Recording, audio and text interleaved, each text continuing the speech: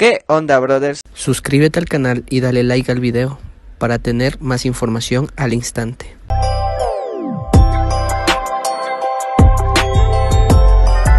Que me maten si pueden, yo nunca me entrego. El mundo del género urbano se encuentra en estos momentos de luto.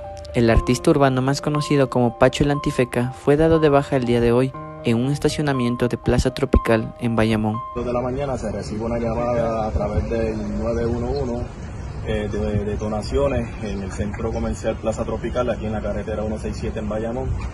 Algunos artistas del género han comenzado a dar sus sentidas condolencias a la familia y amigos de Pacho, o más cercanos a él, que en estos momentos se encuentran destrozados. Recuerden que si no muero mañana ya es otro día.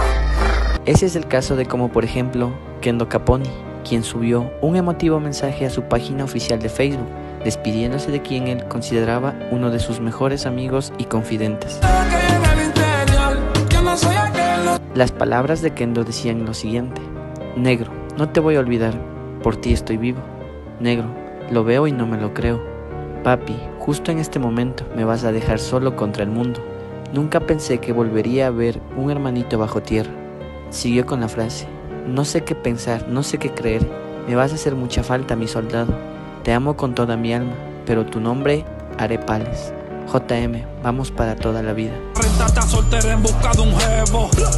Ahora bien, déjame tu like en la parte de abajo si eras fan de Pancho el Antifeca y de paso suscríbete al canal para seguir más informado de esto.